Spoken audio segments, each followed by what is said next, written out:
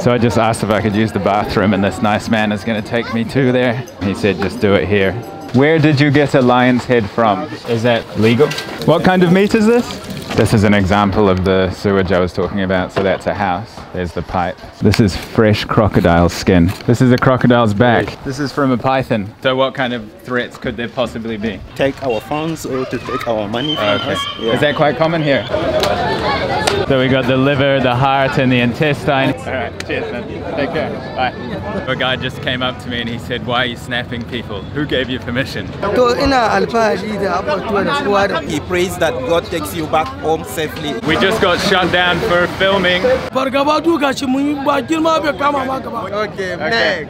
Cheers, man. All right. Don't have words to describe what I'm witnessing right now. I don't think I really need words. It is rich in resources, it's got Africa's biggest population, and it's enjoyed democracy since 1999. But Kidnappers are demanding money. If you pay ransoms, kidnapping continues. Over 100 students kidnapped from a school in Nigeria's Kaduna state. armed groups have killed more than 36,000 people in the past 10 years. The only way to end kidnapping is for society to take a stand that we will not pay. burdened by inflation, economic stagnation, Despite being Africa's largest economy, it does have high unemployment at more than 33%. credible and disturbing evidence that Nigerian security forces shot and killed at least 12 people taking part in peaceful protests last night in the country's largest city, Lagos. A city in chaos.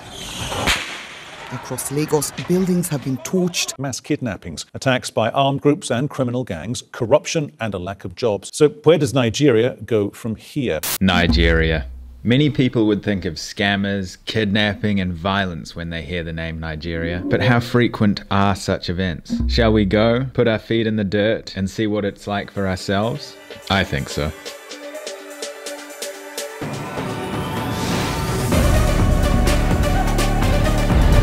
Africa's most populous country. Known for kidnapping for ransom. What's the price? The price of this one is 1,000. Money, money. Oh, let us.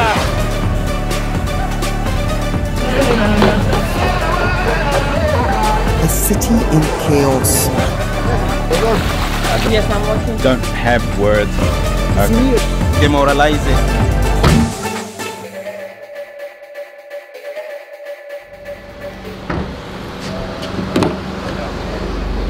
Assalamu alaikum.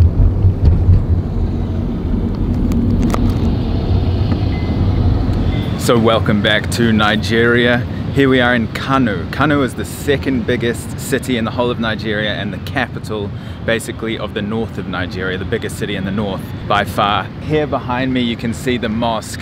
This car park here was actually the site of a horrific terrorist attack. In 2014 there were 400 people injured uh, terrorists came in these front gates and just unloaded bullets into people after a, a praying session here at the mosque. Dozens and dozens of people were killed, sadly. So this car park right here has a very dark recent past. Dozens of people have been killed and perhaps hundreds injured in a suicide bomb and gun attack on the central mosque in North Nigeria's biggest city, Kano. It bears the hallmarks of Boko Haram militants whose targets have included mosques they don't agree with. Reports say one or more bombs went off before armed men fired on worshippers trying to flee. But we did talk to a few people around the city and they did say that the security situation here is significantly improved. We're going to explore this city today. On the outskirts and in the highways, apparently still people are getting kidnapped. A guy I spoke to in the last video told me every fortnight, every two weeks somebody is kidnapped. So pretty uh,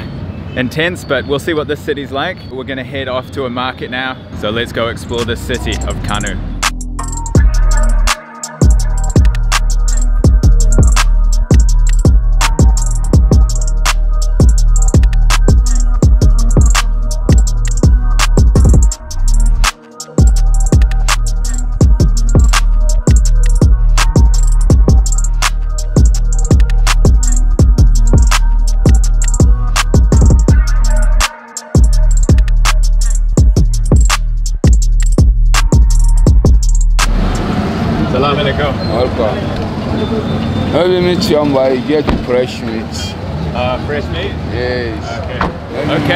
We've just arrived at this butcher's market here, downtown Kano. Absolutely insanely intense situation here. Just guys with. Uh, hey, how are you? How market? You good? Good. Yeah.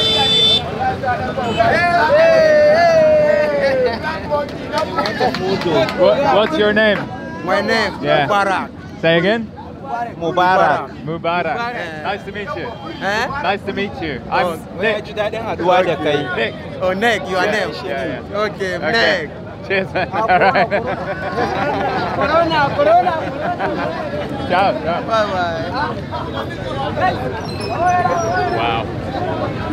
See, the, wel- the locals are very welcoming. Ooh, ooh. Ah, okay. We just got shut down for filming. We require for the due discharge of my duties. What animal is this? This is a cow. A cow. Yeah, it's a big bull. cow. Yeah, a bull. Yeah, with a horn.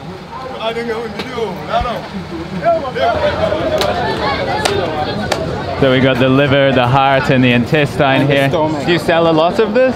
dubu ɗari ma da ana yi ya danganta da yanayin kasuwa lokacin dubu ashirin. The market sometimes he make from 20,000 up to 100,000 a day. A day. Yeah, it depends on how the market is in a day. And do you like to eat this? Yes, I'm not sure. Yeah, yeah. Chop now. Okay. Yes. Kaman five years da ta wuce haka. Ba kamar irin wannan. That like five years ago, the market was booming, not like now because the economy is so hard now.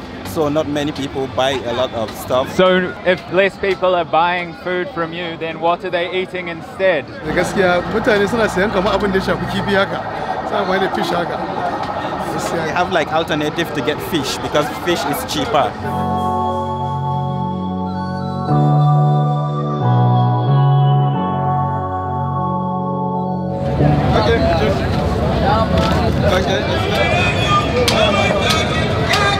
Tell me about Nigeria. A rayuwa ga ta rayuwa yanzu ba daɗi rayuwa.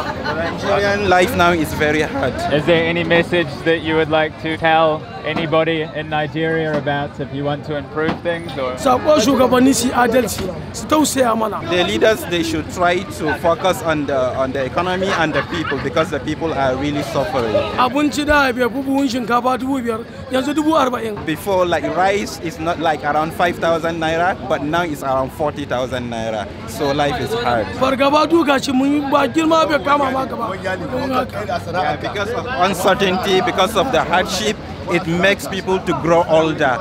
Thank you. Thank you. Have a Okay, he also wants an interview. Does it? babban takaici na a rayuwa a kano ko in ce a najeriya gaba ɗaya da nama ya tsada Ko- saboda babban bakin ciki na a ce nama ya tsada His main problem now that he's concerning about is for uh, meat to become very expensive in Nigeria. Now meat is very expensive in Nigeria. da naira dubu ɗari ake sai da ita amma yanzu wallahi ta kai dubu ɗari uku The live cow, the, the live bull, it was like 100,000 naira before, but now it's like around 300,000 naira. So you can see the difference of like 200,000 naira.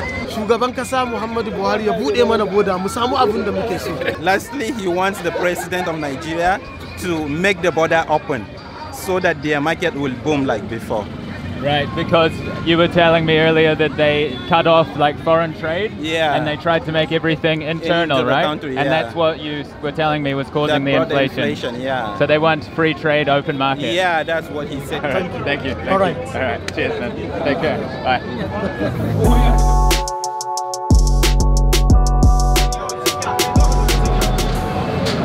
If somebody wanted to buy a whole rack here, how much would it cost? 70,000 naira. Everybody wants to be interviewed and share the situation. Like people are just coming and they want to talk to the camera about the situation. It's incredible. Ai ya shiga da ko? What do you What do you want to say? Eh, ma- To ina alfahari da abubuwa da kowa da kowa da waɗanda suka zo. He is happy to see someone like you to be in Nigeria, so he prays that God takes you back home safely, inshallah. Okay. And why Why are you happy to see somebody like me Wai here? me yasa kake ji daɗi da ka gan shi a nan? Wallahi kawai ya burge ni ne. It's because it's rare to get somebody like you in the market. Oh, so he doesn't see many foreigners Yeah, here. so he's really impressive to see someone like you here. Okay. Yeah, that's why he prays that you go back home safely, inshallah. And do you think that I'm safe here? Ai ba damuwa mana ai Najeriya ce kowa zai iya zuwa ya rayuwa kuma normal. Yeah. It says it's very normal for you to stay here. You are very safe. Okay. Yeah. Now go Thank you very All right, man. Now. Wallahi sai na faɗa al'amuran rayuwa ya taɓarɓare Being an entrepreneur now, it's like demoralizing. I've never really experienced something like this that everybody wants to be interviewed and everybody wants to come up and, uh, you know, they want to share the struggles here. Everyone I've talked to so far in the country, in the south and the north, is just talking about inflation and uh, just the, the economy is crashing, according to the people I've spoken to, which is people from all different backgrounds. talakan da yake rayuwa a dubu ɗaya He is so worried about the life situation now in Nigeria because they use all their power, they use their energy, they use their money to support the present administration, the president to get into power. But when the president get into the power, everything changes. They, is, they expected something more, but what they were expecting is um, it's not what they got. So they are worried about it because life is getting more harder. What uh, if you have 1,000 naira before? It's enough for you to feed your family in a day, but now you need like around 5,000 naira to feed your family a day. You can see that uh, people are very friendly here, majority of them. But I must tell you, a guy just came up to me and he said, Why are you snapping people? Who gave you permission? And uh, it's funny because the people that I'm filming are asking me literally, Can you film me so I can talk? So, you know, some people can be a bit abrasive and a little bit hostile, but vast majority of people here are really cool and like just uh, good vibes, you know. Nice people, characters, absolutely.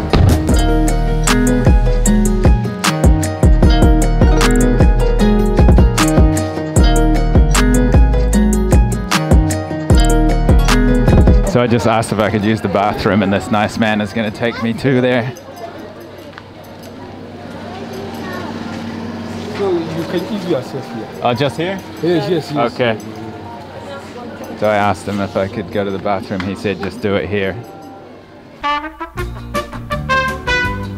So I'm not going to sugarcoat it. I mean, that's the reality, right? Uh, we've spoken to other people in Nigeria, and obviously, you know, this shouldn't come to, as too much of a surprise. Not every house has a toilet, so they either share toilets in the community, or they go to other people's houses, or they will uh, go on the street here. And that's how it is. This is sheepskin in the background. yeah. And you're coloring, and they color it. here. Coloring. And what do they do once it's colored? Do they sell it? To sell it. Who do they sell it to? Export. Export. And what is it used for? Clothing? Luggage. Uh, shoes. Even. Shirts. Yes. You're obviously an educated man because your English is very good, right? Yeah. And so you grew up uh, in the uni- you went to university here, or? Of course, yes. Okay. And what did you study? Accountancy and finance. Oh, really? Yes. And so, seeing as that you worked in accounting and finance, I spoke to a lot of people just at a market. I'm, I'm ex-auditor. Auditor. Yeah. Okay, so what do you think of the current state of Nigeria considering the economy at the moment? Well, I can't say anything about the uh, Nigerian economy. I can't say anything. You don't want to? Yes. Okay, that's okay. See my my pump. Oh, this is your I'm pump. supplying the I'm supplying water to to those people. You sell this? Yes. Okay. This is my water. And so, how did you get? You made this yourself? In my house, I Ah. I drill water to the tannery here. One thing I've noticed about Kano here is there are a lot of open sewers, and sometimes the uh, stench is borderline unbearable. I've uh, gagged a few times just trying to uh, convey the senses here. You can see a lot of these kind of uh, gutters here. Hey, a lot of them uh, are connected to household sewers, so I even saw like sewage washing out over the uh, basically what you would call a pavement or a footpath into the drains, so it's quite uh, intense. Salam alaikum. You just mentioned that you've been to England. And what year did you go to England? Karibu wace year ne eh? 1993. You like England? I like Saudi Arabia better. You prefer Saudi Arabia? Yeah. Okay, and what is the reason for that? A Religious matter. Oh, so you went to Mecca? Yeah. Oh well, thank you very much for your time, Yeah, no. Solomon. Uh,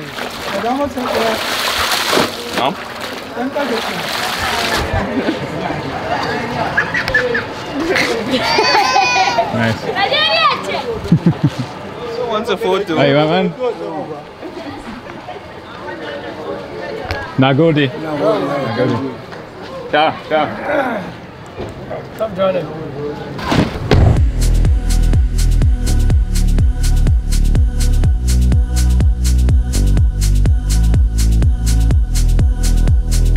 This is an example of the sewage I was talking about. So that's a house. There's the pipe. Comes straight out of the house there. Through here. Out along here. And then you have the main sewer line here. Assalam.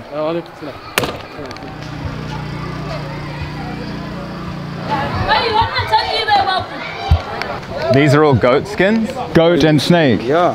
And crocodile? Yeah. This snake now. This city is officially just blowing my mind to pieces right now. This is so otherworldly, really. Oh, I've got goosebumps right now. This man just got a lion's head out of his. Wow. Where did you get a lion's head from? Chadi. Sorry, what country? Chad Republic. Oh, Chad. And what will you do with this head? With it, we sell it to the. They sell it to voodoo people. They make voodoos with that. Like black black magic. magic. Yeah. Is that legal? Yeah, wai ba damuwa haka gwamnati ba ta muku magana Ah, ba, ah, kana yi. Amma sai dai it is it is illegal. Okay. Yeah, if the government sees it, it's, it will try to stop them. So, So the it's government not, don't it's like not it? Really, yeah, the government doesn't like that. So it's not legal? It's not illegal. Okay. So this man here is drinking out of a, a cup, but seeing as the cup was dirty, then he put uh, a plastic bag inside of it, and then he's not drinking out of a dirty cup. Nagodi. Nagodi. Ah, you try, pa. I try. Yeah. Traveled to many different places in the world, but this is uh, standing out as one of the most engaging. This is fresh crocodile skin. And wh- where does the crocodile skin go? Is it used for making boots? They export it out of the country because it's being used for other products. For, for like fashion or for magic? Uh, na ma- me ake yi da shi ma kaya ne ake yi da shi ko kuma dai No, ana yin jaka da shi, ana Okay. yin bell, Okay. ana yin kuma fesin kyau, ana yin Okay, wallet. it's for fashion. Yeah, for fashion use. This is a crocodile's back right yes, here. Yes. Uh huh. You see the finishing one. So the one we just saw was before, and this is after. This is from a python. One python. Wow. And are these snakes caught locally, or do the snakes come from far away from here? Ah, it come from far away. Far away. Yeah. They bring you the whole snake, and then you Uh-huh, we strip it down buy to the skin. We can skin. buy it from their hand. They Okay. just bring like 100 pieces. How much for one python? One, uh, this finishing one, it will take at least 10,000. Ten thousand, but I mean Yes. for before. Lura ɗaya tana ɗaukar naira ɗari hudu da hamsin. Zuwa Okay, it's ɗari been measured according to centimeters. So the snake- The size of snake mostly like around 5,000 naira. So ten dollars for one python. Okay, and then you turn that into ten thousand. So you Yeah. du- you double the money. Uh-huh. Okay. Salam. Don't have words to describe what I'm witnessing right now. I don't think I really need words to describe what I'm witnessing. A lion's head and the snake and alligator skins. Obviously, we see snake boots and alligator boots and things, but just so they were just sitting there having a tea, and they had a, a lion's head in their bag. Wow, this is the real deal right here. And here's some more of the, the tanning areas here. And then I think that's sewage in the middle. It's a sight to behold, you know. This is a, another planet. You know, the people are very welcoming and friendly. Assalamu alaikum. He's the chairman. Oh wow. Nice to meet you. You're the you're chairman. I'm the chairman. Oh wow. My name is Mustafa Umar. Okay. And this is a good business? Where are you from? I'm from New Zealand. From New Zealand. Yeah. Okay. And is this good business? Yes. Yeah? Yeah. You run this business? Yes. Wow. How long have you been chairman for? For uh, six years. Six years. Six years. Okay. It's uh, very incredible for me to see this. To see the local, our local talent. Yeah, the culture and the talent. Culture is okay. Because where I come from, this is very different. You know. I know. I know. Yeah, yeah. Oh well. Thank you for your time. Okay. I wish you good luck. Thank you. You too. Thank you. hanya nan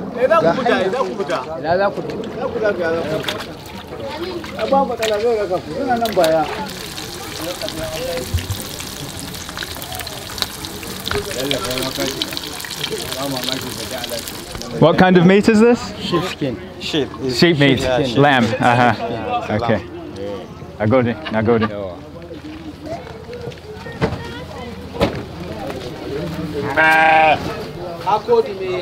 So Mohammad, Yeah. you said that uh, you don't really feel too safe in these alleyways here. It's not really, I don't feel safe, but because it's an alleyway, we are not like many people around us, so it's Right. better, yeah, we don't waste much time here. Right. Yeah. In case of To what? be, yeah, to be, to be, uh, to be in the safer side, right? Right. Yeah. So what kind of threats could there possibly be? Like uh, hoodlums in the in the community, maybe. Hoodlums. Yeah, like to to to to to, to take our funds or to take our money from Okay. us. Yeah. Is that quite common here? Yeah, the, we have them a lot. Yeah. Yeah, they have them around. Okay. Yeah, who know? We nobody knows, so we can do that around. So it's best to stay in open areas with lots of people. Yeah, it's better. Right, Okay. Yeah. Especially that we are with you. If it's just us, it's okay. yeah, because you won't-. Yeah, you are an attraction to I'm a them, right? Exactly. So it's better we don't waste much time here. You've never seen a lion's head before, This is my first time. That was crazy, really. What do you think of that? Wow, it was crazy, really. I think this is not really good. Okay. For the for the environment and also for us as humans. Okay. Yeah, I think. But Quite that's their business, right? That's quite shocking. And but that's their business. That's what they do. Um, even them, they know that it is illegal. So we hope they will stop it in the future. Nagode. Okay, to mashallah. All right. Mashallah. Mashallah.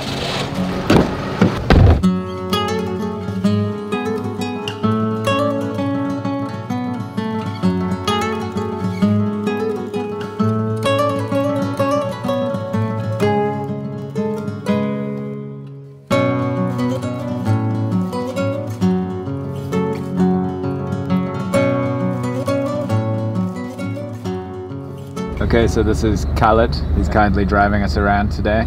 You were in the city in 2014 when the mosque attack happened, Yeah, I was in the city. and you told me that you felt the explosion. Yeah, I feel the explosion. And can you describe that? I, I don't know how to uh, describe it because it's too it's too I'm too afraid at that time. A series of blasts halted Friday prayers at Kano's main mosque, which was crowded as usual with worshippers. Gunmen then opened fire as people scampered for safety. How far from the mosque were you? Uh, it's too far. And you still felt Yeah. the explosion? Yeah, yeah, of course, it's too far. Can you describe the town at that time? Were people running everywhere? And when the explosion happened, what was the scene like in the city? The city, like two hours after the explosion, you just hear nothing in the in the city.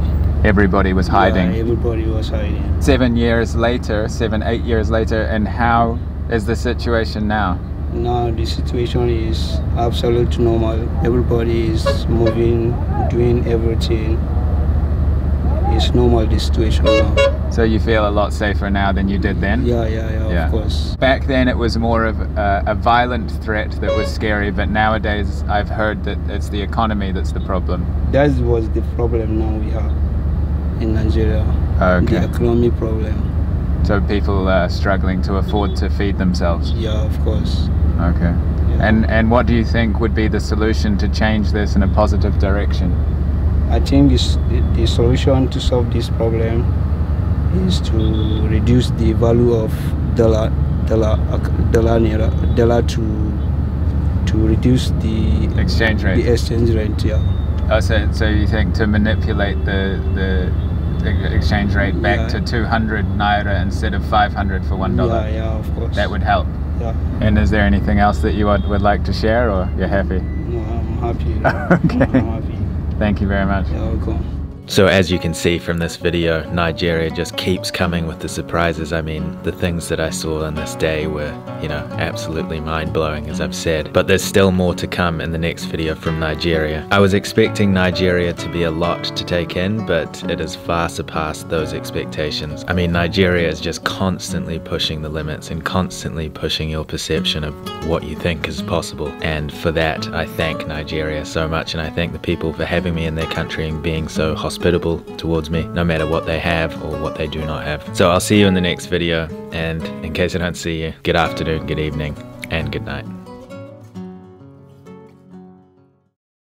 I just want to take a quick second and say a huge thank you to Curiosity Stream for sponsoring this video. Curiosity Stream is basically like the documentary version of Netflix. They have thousands of documentaries. There's a few I've been watching lately. One in particular is Butterfly Effect, and it shows you the entire process of how certain things came into play. For example, the invention of the internet in detail, but it's quite small and concise, so you can digest a lot of really interesting information in a short period of time. There's also some really cool travel travel documentaries on there. What stands out the most about Curiosity Stream is how affordable it is. If you use my link in the description, curiositystream.com forward slash indigo, you'll get 25% off, which will come out to only $14.99 for a whole year. You're basically paying the price of a month of other streaming services, but you get an entire year. Just to put that in perspective, that's just over $1.20 a month. I've already learned a lot on Curiosity Stream and I'll definitely be continuing to watch it. I love sharing a sponsor like this because it's very educational. I can speak for myself, it's definitely given me a greater understanding of the world. So head to curiositystream.com forward slash indigo, and you can also use the link in the description.